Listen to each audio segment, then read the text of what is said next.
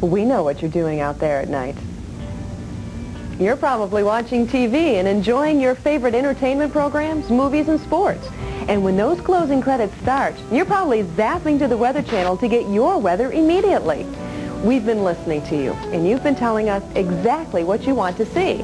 So now when those credits roll, hit the Weather Channel for your local forecast. Immediately followed by a region-by-region look at tomorrow morning's weather. Then, in case you missed it, we repeat your entire local forecast. Of course, as you have more time available for checking up on the total weather story, the Weather Channel is always here, and you can watch us as long as you like. But when you just want a quick look, zap to the Weather Channel between programs. You'll get the weather you need and be back in plenty of time for the beginning of your next show.